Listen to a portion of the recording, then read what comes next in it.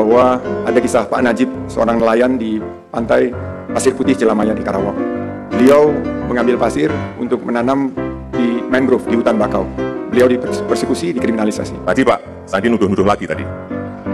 Ya, gampang sekali, laporkan, saya akan perintahkan tindak tegas pelaku tersebut. Pak Presiden yang sangat saya hormati, saya tidak menuduh.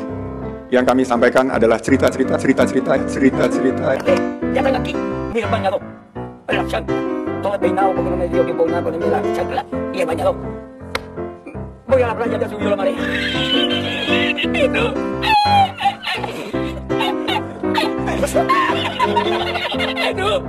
Había subido la marea con una paella.